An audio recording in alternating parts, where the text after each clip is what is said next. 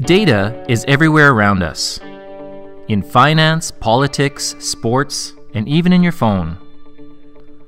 Data makes your stories more powerful and engaging. Let it shine with Infogram's beautiful and interactive charts and infographics. Choose from over 30 chart types. Use maps from over 200 regions and territories. Keep infographics up to date using real time data and import content from spreadsheets, Google Drive, Flickr, SlideShare, and many more.